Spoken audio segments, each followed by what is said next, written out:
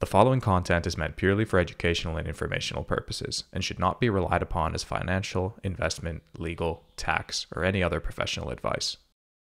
This is the Fundamentals Podcast, where we demystify crypto and help you navigate this ever evolving internet native economy. In this episode, we're joined by Rennick Palley, the founding partner at Stratos, a fund that seeds the future of crypto. Stratos focuses on both venture, where they invest in DeFi and Web3 companies, and infra, where they provide the hardware, stake, and expertise that helps blockchains grow. We discuss Stratos, their investment strategy, and how they approach the market. We then move on to speak about the execution layer landscape and dive into valuing layer 1 and layer 2 blockchains and what the main differences in valuation methodologies are between the two. We cover topics including monetary premium, staking ratio, real staking yield, positive economic balance, and intrinsic value. We draw parallels between tokens and more traditional assets, and speak about applying comparative valuation concepts to crypto. We speak about the current lack of value accrual mechanisms for L2 tokens and what the future could look like on that front. Finally, we touch on the current state of the blockchain market and what keeps Stratos optimistic about the future.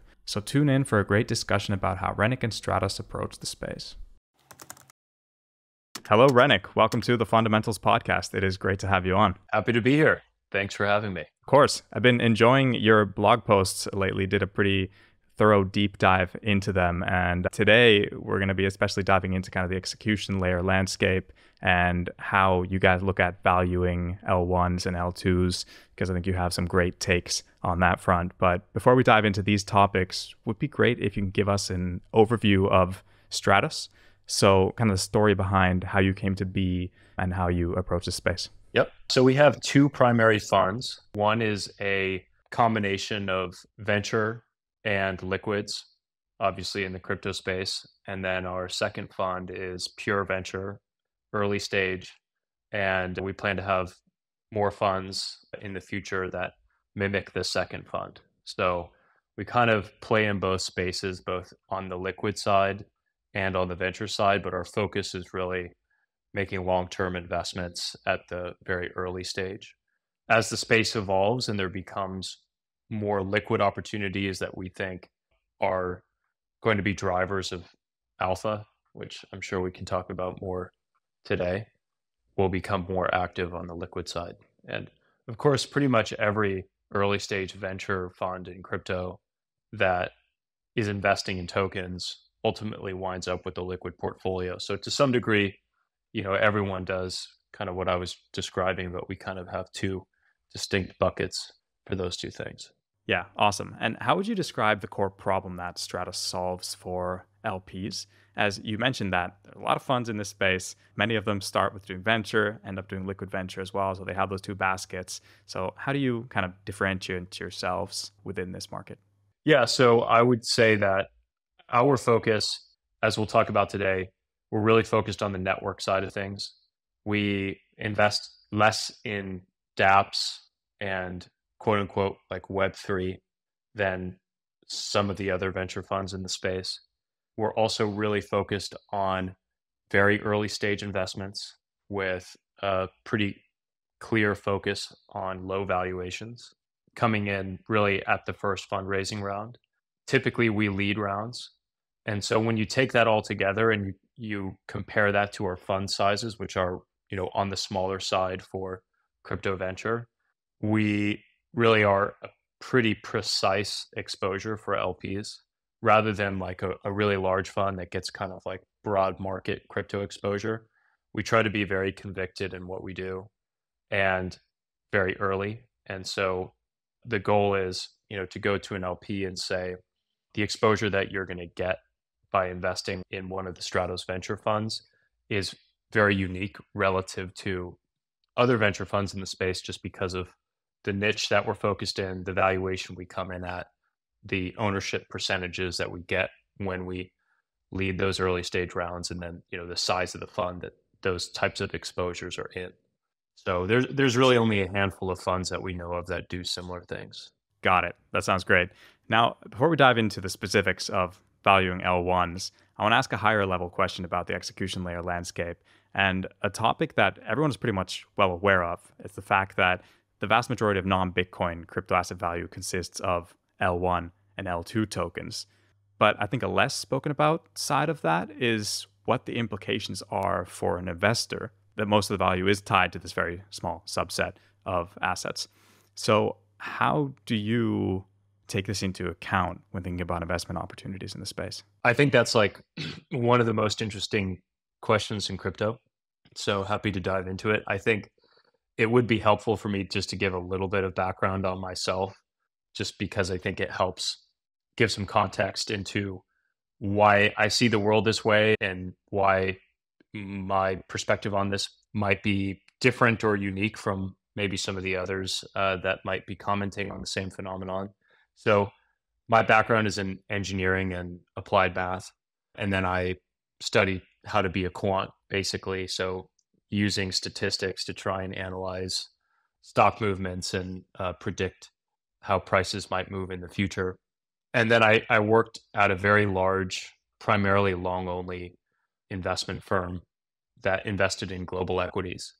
So looking at public stocks around the world and really with the value mindset, which is to say, you know, going out, doing deep fundamental research on these companies and trying to find opportunities where you could invest in dollars for 50 cents. And, you know, it's kind of the Warren Buffett mindset. And the reason for that is, you know, if you can find something, a company that's producing cash flow and you can become really confident in the level of those cash flows, then you can start to see things that the rest of the market doesn't really see because the market tends to be very short term oriented and driven by events as opposed to what the real underlying fundamentals are of a company or an industry. And it's actually those kind of long term fundamentals that really drive stock price movements over the long term. And so, like, the essence of that is trying to break the world down and say, like, what are the real drivers of this economic activity and try and figure those things out and then build the portfolio around that to get exposure to those bigger ideas. And obviously, you'd express it in more of a micro sense on a position by position basis, but it was always kind of informed by this broader view of how money was made and how moats were created in businesses and you know how you could generate long-term returns and so that is kind of the same mindset that myself and the team at stratos are taking to these questions and that's why we've spent a lot of time researching some of these ideas because we think these big ideas are the things that will dominate long-term returns in crypto and will end up being the most important things to really get right. So just to to continue with your question specifically, what are the implications for an investor in terms of the, you know, basically 85% of the non-stable coin crypto value is in Bitcoin, Ethereum, the other L1s and L2s. So what's going on there? Well, let's hold L2s aside for a second because they're kind of their own thing. What's going on with the L1s? It's this idea of monetary premium, which is to say that each one of these L1 networks issues a token, and that token behaves more like money, or at least the market perceives it to be more like money than a financial asset. And so, if you break down the world of assets, crypto or not, you basically have two broad categories. You have monetary assets and then financial assets. And a monetary asset is something that is intended to store value, generally is scarce or semi scarce and then you really derive value from that based on network effects how many people hold that currency how many people are willing to transact in that thing what do other people perceive the value of that to be today and what will it be in the future and then financial assets which are things like stocks where you can say it's generating 10% free cash flow yield and thus it should be valued as a function of that future cash flow and you can see basically the crypto world in a nutshell bifurcating around these two asset types. So all of the value in crypto basically comes from these monetary premium assets. And then a very small percentage of the value today comes from what are really more like financial assets, which are the tokens that are associated with dApps or decentralized applications. So basically, decentralized applications will converge to look more and more like companies and tech companies, SaaS companies, financial companies, etc. and then they will be built on top of the networks that issue tokens that look more and more like money or a you know a derivative of money. Yeah, 100%. I think that is also kind of the key takeaway that I took from your blockchain economics article that you put out is the fact that yes, the intrinsic value of any financial asset is defined by its future cash flows. But when you look at L1 tokens that are not one dimensional assets in any way, they'll likely never be priced as discounted cash flow type assets, but instead by a combination of different financial asset value through monetary premiums, staking yield, positive economic balance, and other concepts that you mentioned in the article. So, starting with the concept of monetary premium, could you speak about its significance in a bit more detail in the context of L1 blockchains? What factors drive monetary premium there? So, monetary premium is something that's a little bit hard to define. You know, you can use it to describe a lot of different phenomenon of different asset types. In the context of L1s, it's a little bit easier to define because you can look at what the revenue multiple is that L1s trade at versus a dApp or another type of asset. And what basically you find is that they, they, they trade at you know a thousand x revenue multiple, if not higher.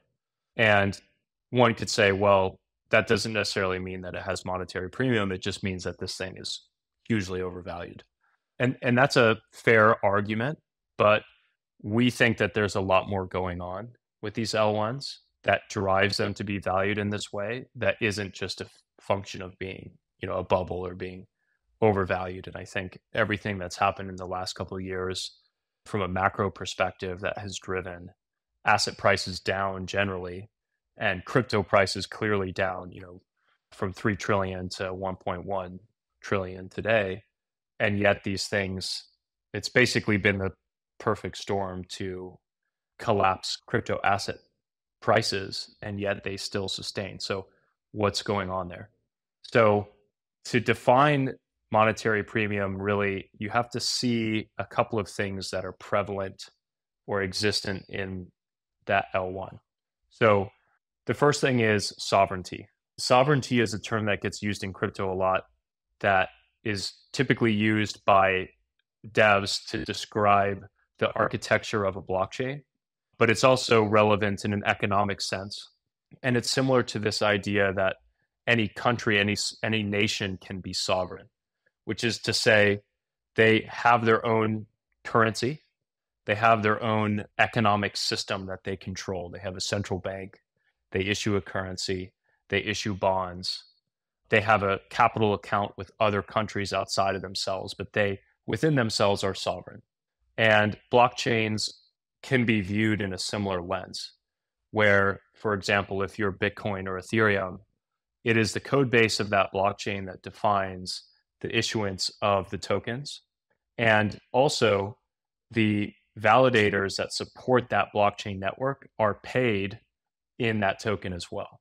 So, the entire monetary system of that blockchain is sovereign. It's not dependent on the monetary policy of US dollars or euros or, or yen. It's, it's its own thing. Or even Ethereum's monetary policy is not a function of Bitcoin's.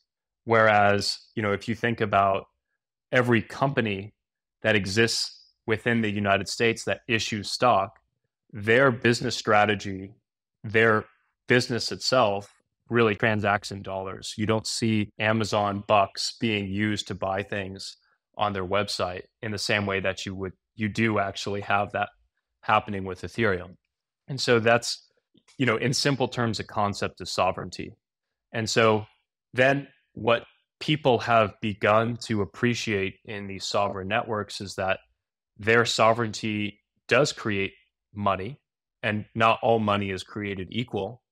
But because there are these other features like plausible scarcity and positive economic balances and staking yields for the proof of stake networks, you can start to look at these things and understand what the balance sheet of these networks kind of is right? And so if you look today at the US dollar and and this meme that is starting to crop up around, you know, the fact that it's possibly unsustainable where the dollar is today because of the amount that the government is spending and the amount of outstanding debt and the interest cost to finance that debt. All of those things eventually will wind up in a place, some people think, that becomes unsustainable for the US government.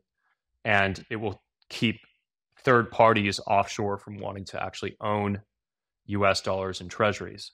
And so then you can compare that to something like Ethereum and say, well, actually, Ethereum is theoretically ultrasound money. It is both plausibly scarce in that they're not issuing more, but it's actually becoming deflationary because the number of ETH floating is actually declining as a function of the economic activity on that chain. And so if you have something that you can be certain around its scarcity and is accessible globally and can be used for actually transacting on a day-to-day basis, you could start to build this idea that this thing can function as money just as well as a fiat currency can. And so that starts to build up this mythology, if you will, around how crypto tokens become money. And thus, that drives them to be valued not as financial assets, but as monetary assets. And then the holders of those assets don't necessarily care what their revenue multiple is because that's not necessarily what they hold them for in the first place. Got it. That is a really great overview. But then if we think about the actual revenues that these networks can generate. In ETH's case, it's the amount of ETH that gets burned in each transaction. Would you say that when an investor looks at a network like that, the importance of the revenue is more related to its function in the positive economic balance instead of just purely looking at it on its own? So I think the function of revenue in a layer one network, particularly a proof of stake network, does impact the value of that token, but it, it does so indirectly because of what you just mentioned, which is this idea of economic balance. How we define economic balance is you have revenue coming in from gas fees, and then you have expenses going out to pay validators to support the network. So if you live in a place as a network where you're paying more to your validators than you're taking in in gas fees, you have to make up that gap somehow. And you do that by inflation, by issuing more tokens than what you're actually earning in fees. And so if that delta gets out of hand, you start to get into this place where your token is no longer plausibly scarce, which is a term we use that is is kind of uh, amorphous in terms of like where is the actual boundary on what becomes plausibly scarce and what then eventually is not. And it's kind of, well, does the market believe that the inflation rate is low enough relative to the growth rate and demand in that particular token or on that network that it's not too high and it's not diluting the existing holders too much? The level of what that number is, no one really knows. The way that currencies kind of collapses very slowly and then all of a sudden. And so, you know, that happens in crypto. We've seen it many times. But you know, by and large, if you can have a low inflation rate or ideally a negative inflation rate like what we have with Ethereum, you create plausible scarcity because you know how many tokens exist. And so that revenue is one side of that equation. The security budget, which is what you have to pay to validators to actually support the network, is the other side. Definitely. And I think the positive economic balance it's a great framework that you use and i've used the term economic sustainability when i've spoke about this topic with a lot of the l1 founders to ask them on how how important they find it to be and it's quite interesting to see how the answers differ between network. And of course we need to understand that i think it's only ethereum and tron at the moment that have like a positive economic balance. When you look at l1s everyone else is inflating a lot more tokens than they are actually burning or generating in any kind of revenue out there at the moment. Now, what I'll say though is it's not necessary. It's not a strict requirement. Like positive economic balance is not a strict requirement for monetary premium. And you see that in things like Solana and Bitcoin. They both have negative economic balances, but you know me- the mechanics for that are different. But in both cases, the market still views them as money because there's still a plausible level of scarcity, right? The inflation rate is not too high. With Bitcoin, everyone knows that there will only ever be 21 million Bitcoin. Sol is different, right? It's going to continue to inflate. But then there's this other question of, well, how do you bootstrap security? You have to pay validators to create the security, which is the first step in the sort of flywheel of building an L1 ecosystem. Then you need dApp developers, you need an airdrop for them, you need fees to be cheap enough for users. So you want to keep those costs low. So it's it's completely understandable and rational that an L1 design would start in the early years, maybe in the early decades, with a negative economic balance for the reasons that I mentioned, but still would be able to be viewed and be viewed by the market as as money. Definitely. And that was a great addition there because I think one comparison that I've liked to draw between like layer one networks is to nation states. And there aren't many nation states out there generating a fiscal surplus, but they've still been up and running for quite a long time. So, kind of using that as a bridge to drive into drawing parallels between L1 tokens and existing more traditional assets such as sovereign currencies. Could you speak about the country theory of L1s what that is and how you think it could be applied to valuing L1s? This is a fun one because you can draw so many parallels between blockchain networks and countries that you know you you could kind of go on and on and on and keep unraveling layers of the onion. But the way I look at that at a high level is sovereign blockchains are similar to sovereign nations for the reason I mentioned earlier about how if you issue your own currency and you control your monetary policy and you have some trading interactions with other countries, you're sovereign. Well, blockchains are the same. And, and you know, I think people sometimes really kind of scratch their heads at this analogy, but I don't actually think it's that far fetched because blockchains are the only economically motivated systems that are extra physical. They just exist on the internet and they're accessible to everyone around the world that humans have ever really had, right? So we've kind of anchored ourselves on this idea that countries are a physical thing that exists within a border that have security via a physical military rather than, you know, a distributed validator network. But I think in the future, this will become more and more accepted as, you know, maybe not a replacement for traditional governments and physical sovereign nations, but as an addition or an alternative to that that exists on the internet.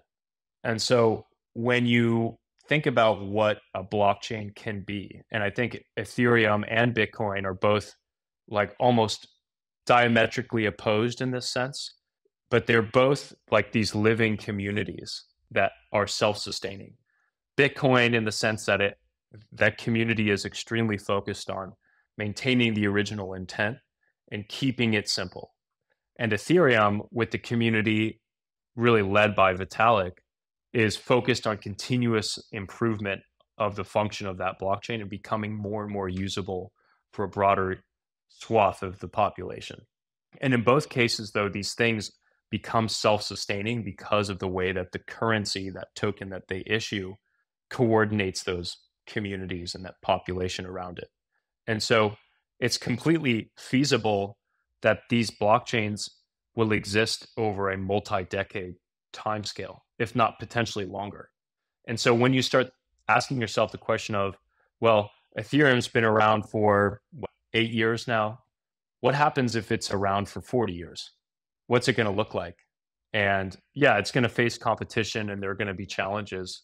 not saying it's a guarantee that it gets there, but if you just imagine, well, what does it look like 40 years from now and how developed could it be and how big could the economy be and how many massive applications could be living there and what value of the world's assets might live there it's a pretty interesting question and then it helps you start to think about things in this sort of country theory terms. So i'll get into the economics of that next but i'll pause for now. Comparison between l1s and countries is definitely one of my favorite ones to make because you can find so many similarities there. And if we do move on to the economics of that, when we consider other comparative valuation concepts like the one we just spoke about, you also mention block space purchasing power parity as another one in your article. Can you speak about what that is? Okay, so there's this thing called the Big Mac Index that The Economist publishes every year, which basically says, like, in currency adjusted terms, in dollar terms, how much does a Big Mac cost in every country in the world? Which is basically to say, once you adjust for the foreign exchange rate differences, what does it actually cost to buy a Big Mac in dollar terms? And the, the reason why that's interesting is because it takes into account the actual costs of producing that in that country. What is the cost of beef? What is the cost of labor? What does it cost to rent the real estate for the McDonald's to be at? And so when you start to look at that and say, well, how does that work in crypto?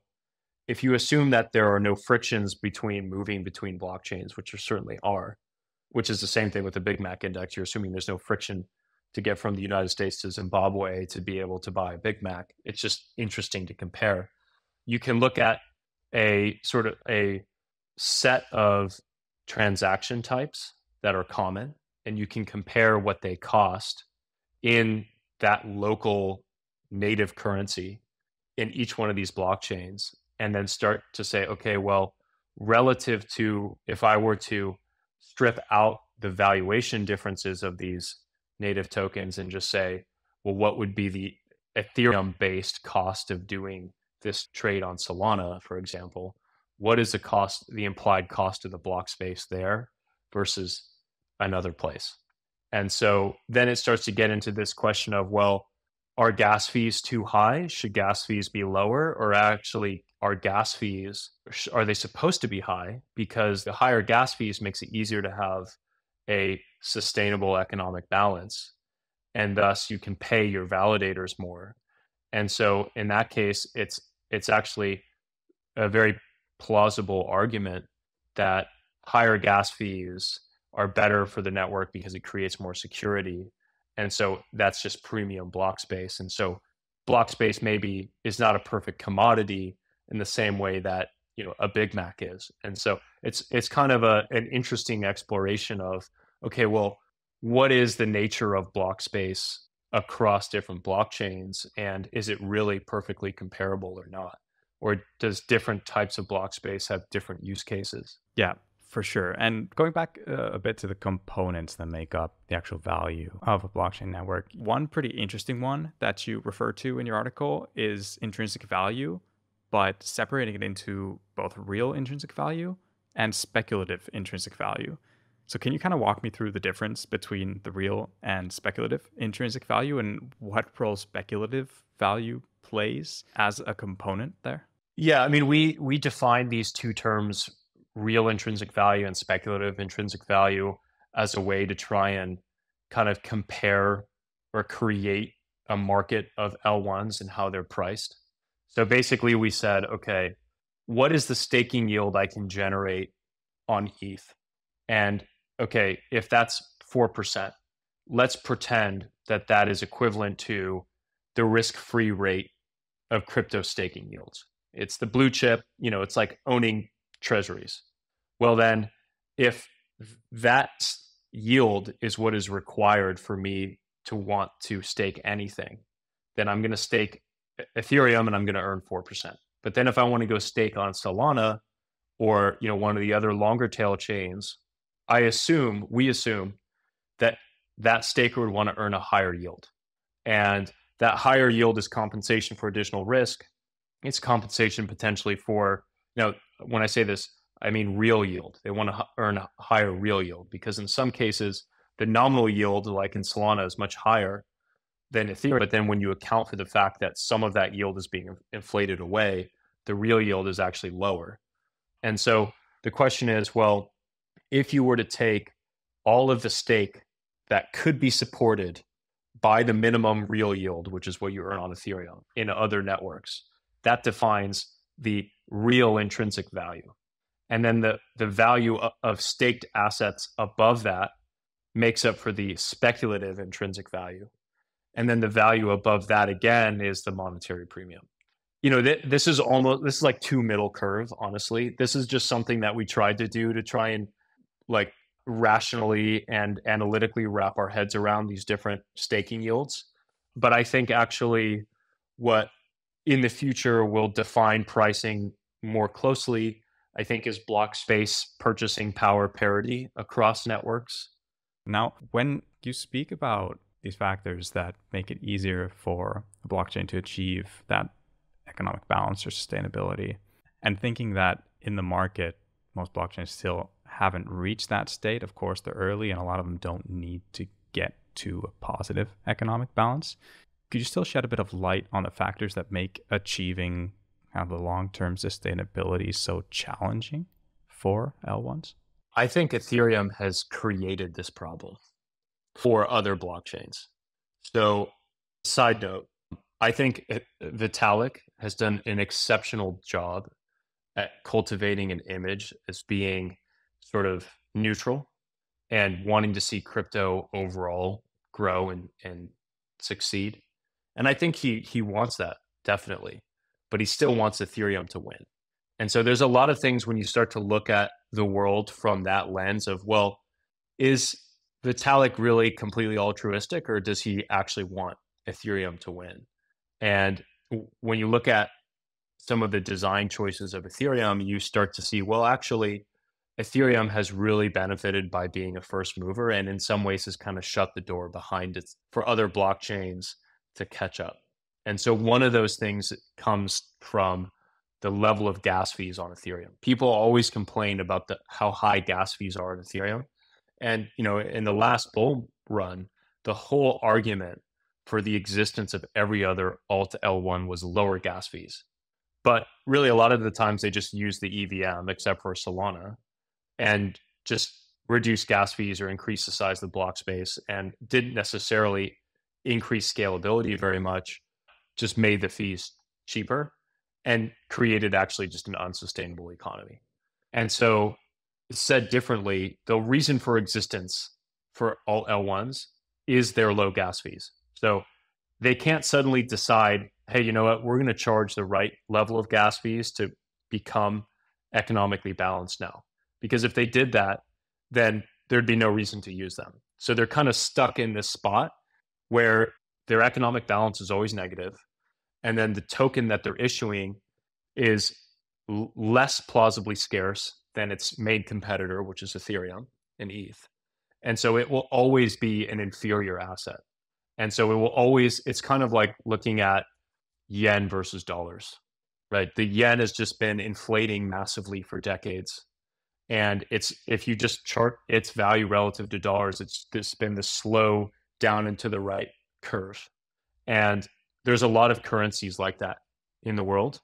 Now, Japan had their reasons for doing that. It's mainly to manipulate their competitiveness in the export markets. But there's going to be a lot of currencies that relate to Ethereum in that way. And it just kind of further goes to support this argument of, well, Ethereum is the kind of soundest money, it's the the best money. And a lot of these other things kind of look less good in comparison, but they still behave like money. You know, there's plenty of currencies in the world, but the dollar is the reserve currency. It's number one, but you know, the yen still exists. And hmm. the reason why it does is because the the government is able to force people to pay taxes in it and you know transact in it locally so i think the same will be true for a lot of these other l1s over time and there will be a few that are just the power law winners and you know the psychology around these types of money you know bitcoin is a great example builds on itself. Money is the strongest network affected piece of technology that has ever existed. And so bitcoin it has this lead. You know people will argue is eth going to flip bitcoin? I actually thought that I was a stronger believer in the flippening before I did a lot of this research than I am now. Even though Bitcoin has questions around its security budget in the future, it has the, such a strong advantage in terms of culture. If you walk down the street tomorrow and you asked 100 people, what do you think of crypto? What is the token that you think of first? It's going to be Bitcoin. And so, you know, that's a really valuable place to be in. And I think it's going to continue to help solidify Bitcoin as money. But again, not necessarily at the exclusion of everything else, but probably as you know the number one thing that people around the world think of as you know an alternative to fiat. Very important factors, but also the ones that are the hardest to quantify uh, when you want to apply a value to something like Bitcoin. But and and yeah, maybe this is a kind of a convenient byproduct of of this analogy, but you know you don't really look at U.S. dollars on a market cap basis. You know, there's there's M2, which is kind of a, an analysis of how many dollars are actually are out there. But when you're thinking about trading dollars for yen or euros, or when you're thinking about transacting it on a daily basis or holding it in your bank account, you're not necessarily thinking about, well, did the government print trillions of dollars in the last three years? Well, the answer is yes, but at least as far as I know, everyone in the US still holds dollars. Now, that may be changing slowly, but the point there is well, if you still have to pay taxes in dollars and you still have to buy your food in dollars and you still pay your rent in dollars, the sovereignty of that money in that region has the benefit of being able to kind of, you know, exist outside of these pure financial metrics because the network effect is already established. And so I think that's why a lot of these L1s are also are not valued in that way. Yeah, that's that's a great addition. Now, uh, to wrap the L1 section up, I want to quickly touch on the FAT protocol thesis, uh, which says that the value of the protocol layer will always grow faster than the value of the apps built on top of them, and that has been a somewhat defining concept for a value accrual in crypto. How do you see the relevance of this being challenged as we move towards more modular architectures? That's a great question. I think it's also one of the most interesting questions in crypto today. So my personal belief, I don't necessarily believe in the strong form FAT protocol thesis, which is to say that the value of all the dApps in sum is going to be less than the value of the L1 they're on. I'm not sure I believe that. I think that's, you know, the strict theory.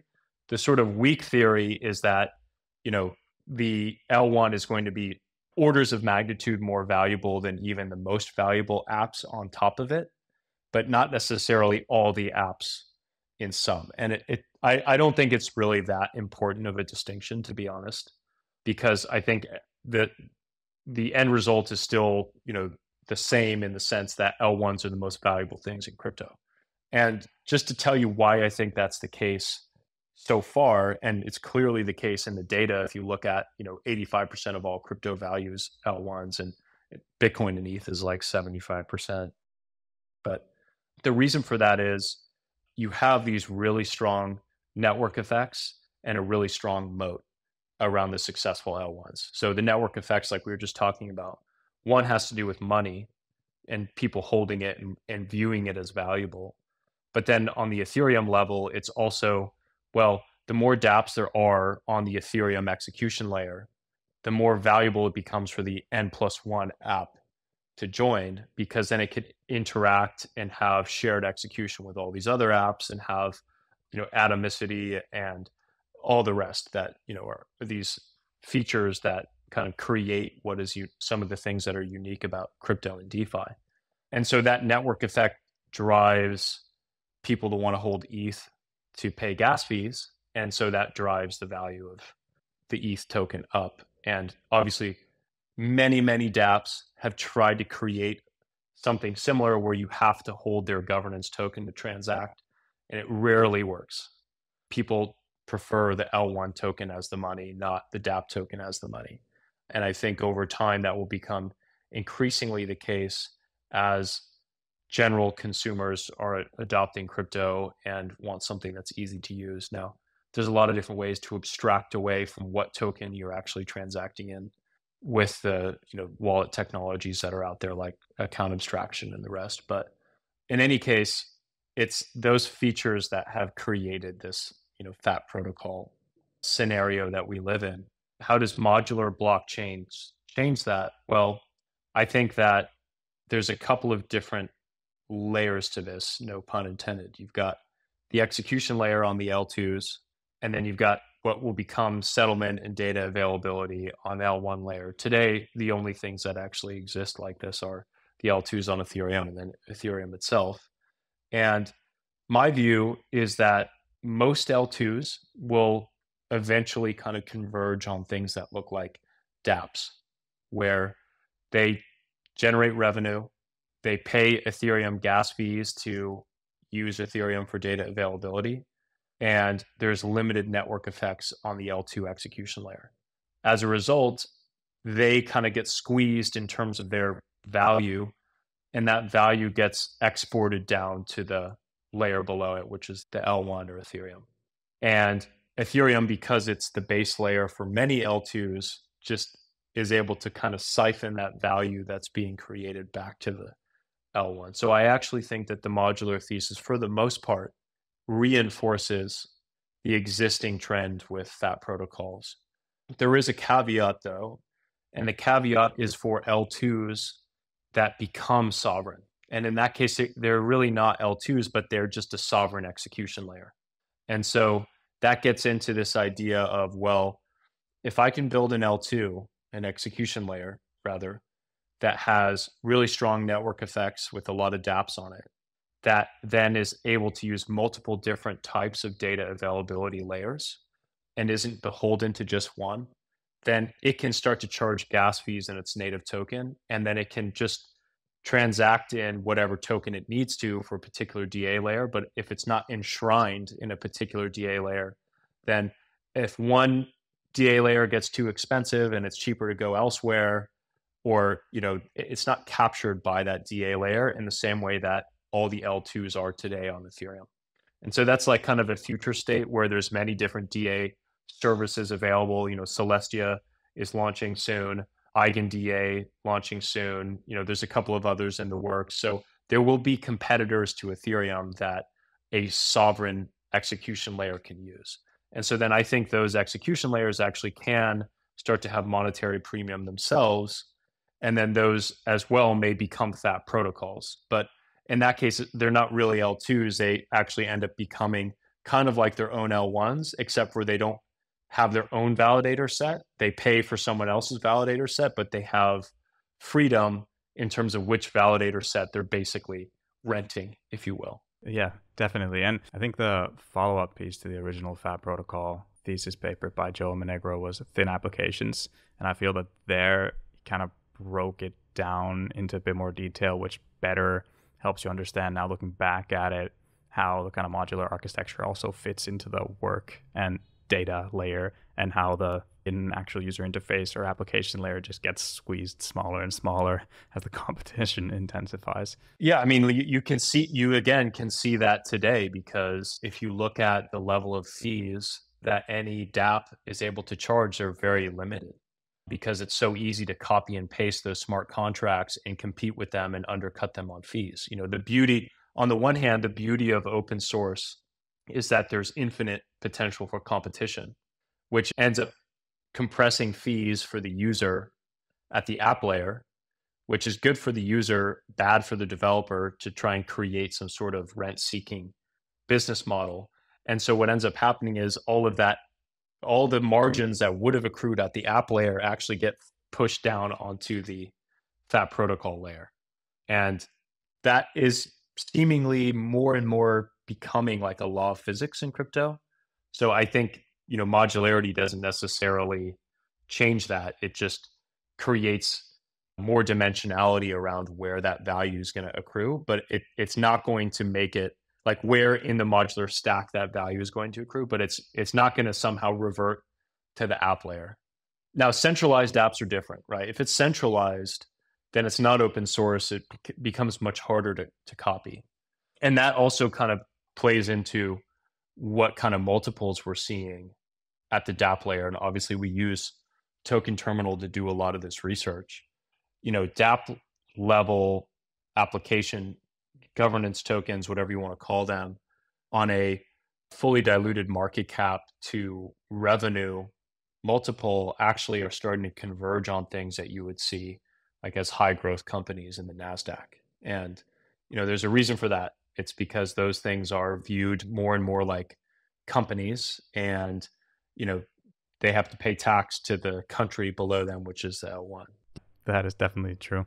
Continuing on to more of the L2 landscape, what you just spoke about dApps and, and application specific rollups and actually start with a question related to that because with more and more dApps starting to have incentives to create their own app specific rollups, how do you see that changing the whole landscape and the flow of value accrual from the app layer to the FAT protocol at the bottom?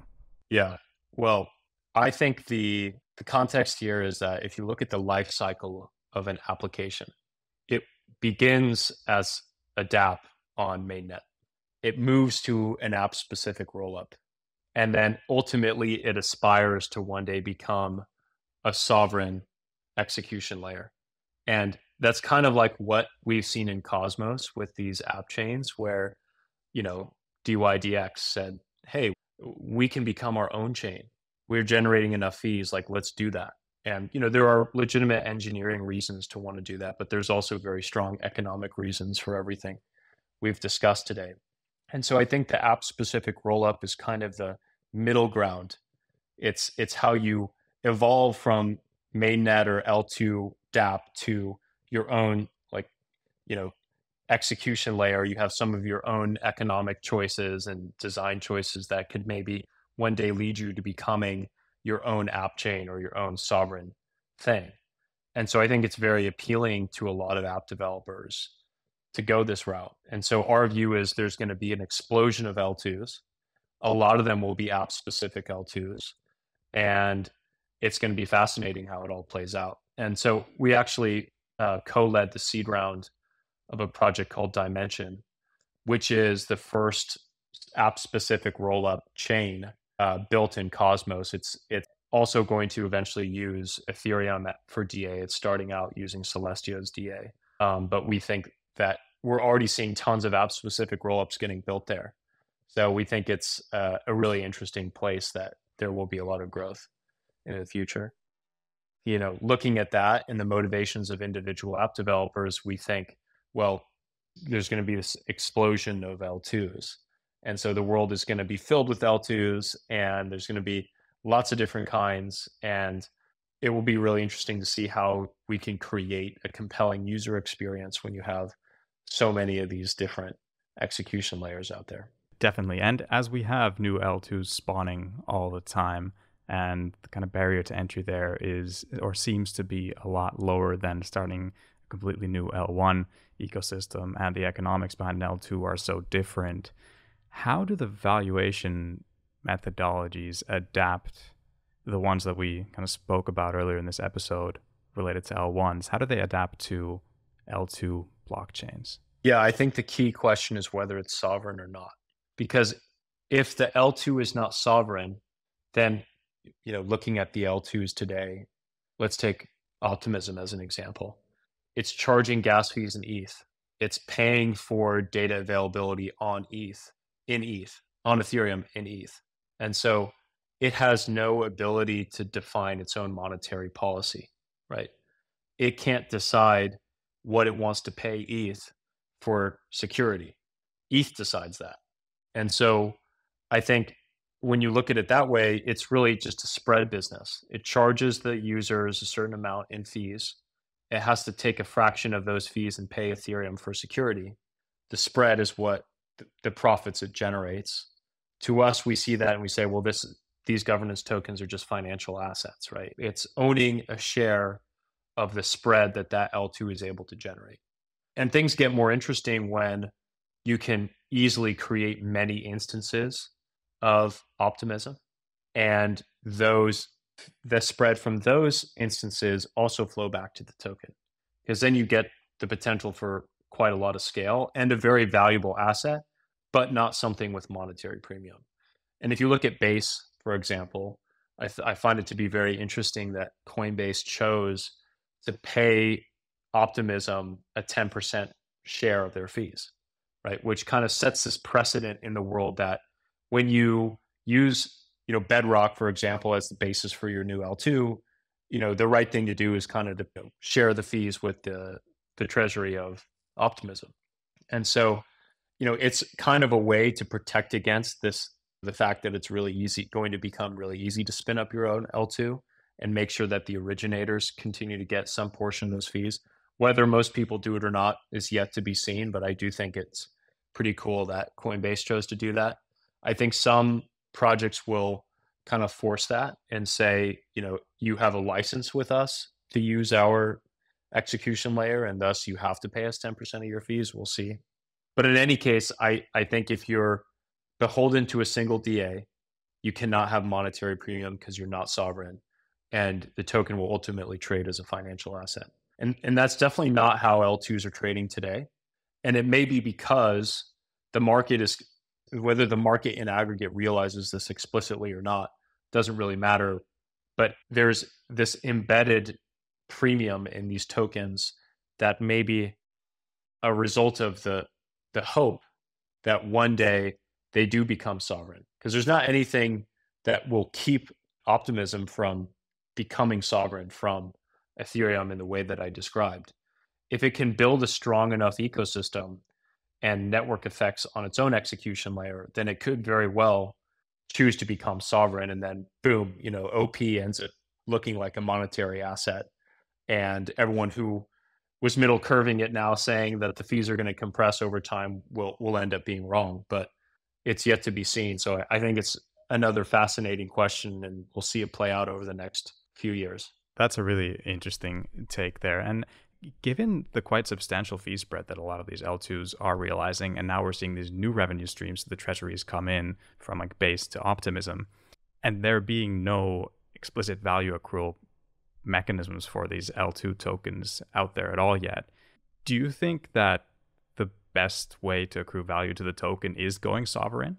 So, what you just mentioned there, or do you see that there'll be other strategies that play out before we see that happening for uh, value accrual to L2 tokens? That's a good question. I think different projects will take different approaches. I think the leaders today have the benefit of not needing to pay out their treasury to drive value to their token. I think there's enough people who believe in the potential for them to become sovereign or money like that they're going to kind of suspend disbelief around value accrual and and continue to hold the token at a at a high price. I think other longer tail L2s may end up experimenting with that. But I also think that this argument that, you know, this is what the optimism team has said is, you know, they think about the highest value use of the spread they're making as being able to use it to reinvest into the network and grow the network. So they may be thinking one day, yeah, we're going to try and become sovereign. And so we want to take all this spread and reinvest it as much as we can. But, and look, many network effect marketplace type companies have been very successful playing that game. I mean, look how long Amazon built itself up for. It, it, it was two decades of that before it really started distributing any, you know, generating any real kind of operating cash flow. So, you know, I, I think there's wisdom to that but it certainly looks like today it's a tough valuation to come in at unless you believe this sovereignty argument based on how we see the world you know we may not be right but this is kind of the framework that we've built to try and understand the l1s and l2s and and the other dApps tokens for that matter yeah that that makes a lot of sense valuations when you just look at them and try to build up any sort of method to quantify that value is is very tough. Look, look, the reason why it's so easy to middle curve crypto as someone who has a background in traditional finance and, you know, kind of like rigorous underwriting of assets is because there's this specter of monetary premium kind of that it always exists there as a potential. And so when you try and reduce things to financial assets, you can be proven wrong as the world starts to see them more like money and they escape these kind of traditional valuation bounds that a more financial asset would have which by the way is is one of the reasons why we built our venture strategy in the way that we have which is we look at the potential for monetary premium in these networks as being you know the most power law kind of long tail upside opportunities that exist and so from a venture investor particularly you know an LP's perspective, that's a really attractive exposure to try and get very precision access to. I love how clear the frameworks are through which you kind of approach this space. You have so much clarity of thought in the way you think of these L1 and L2 networks. That's that's so refreshing to see. That's nice you to to say. I mean, it's cer- certainly not something that we came up with overnight. It's just a lot of discussion and investment committee with the team, and you know, looking at it from different angles. But you know, we'll see if that ends up being right. But certainly, we think you know we have enough conviction in the way that we see the world that you know we're we're putting our money where our mouths are. And I like that because there's there's been especially related to the monetary premium aspect of the value.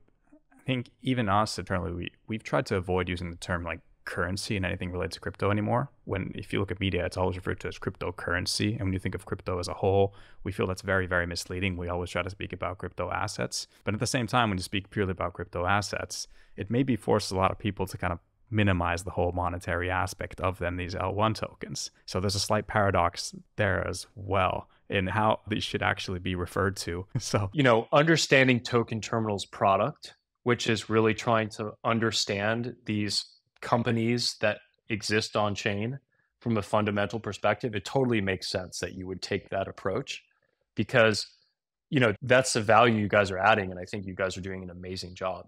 And I think referring to crypto as a currency turns a lot of people off. And I think it turns a lot of people off because, you know, they they dismiss this thing offhand because they're like, Dogecoin is a joke, you know. And what is this Shiba thing and some guy driving a McLaren with a Doge stickers all over it? Like no one thinks about that as something that's like a legitimate investable asset that you know someone would sit there and study it it feels just totally like this degen thing. And I think that takes away from crypto a lot that there's that mentality and there's that particular type of community. But at the same time, I think that's kind of the byproduct of something like that's very, very new and potentially very transformative that also is very culturally different. And so it's going to take a long time, I think, for that to change. But I think that's the nature of something like this. Like this has not existed for humanity in the past. You have to really try hard to draw analogies to things that have happened in the past with what we're seeing with crypto. And I think it's also going to be a slow burn. It's going to take a long time for it to really get to where we think it can be because it's so disruptive and culturally different. It's it's like, you know, our parents' generation do not have the same relationship with technology as we do. So the younger generations, the millennials, the Zs, et cetera, like they are much more comfortable with that, this idea of money existing as a digital object. Imagine the the children today who are you know five years old, what they're going to think of crypto as in the next couple decades. It's going to be completely different from how the boomers think about it, and eventually all that financial value is going to trickle down to the newer generations, and the newer generations are going to perceive crypto differently, and they're going to be, I think, you know, part of the forcing function that drives a lot larger percentage of the population of, of the world to hold these things. And you know think of them as legitimate currencies yeah, definitely. And I think that's actually a great note to end on the fact that this has never happened before. And all that me, you, and the teams we work with can keep doing is trying to demystify this internet native economy and help investors, users, and anybody else out there a bit confused looking in to better understand what is going on. And you guys are doing a great job at that. Thank you so much for joining me on this pod today to share your insights and your approach to the market. It was super insightful, and there's still a lot of stuff that we should dig into together, I feel. And I'm really looking forward to be able to do that again at some point in the future. Yeah, definitely. Thank you for having me. Definitely check out the blog if you're interested in more of what we have to say. Thank you all for listening. And I'm going to start doing a, a regular sort of short video overview of different projects and posting that. So keep an eye on that. And, you know, would love to chat with you again about, you know, how we think about dApps and our valuation frameworks for those as well. Yep, 100%. Looking forward to that. Thank you.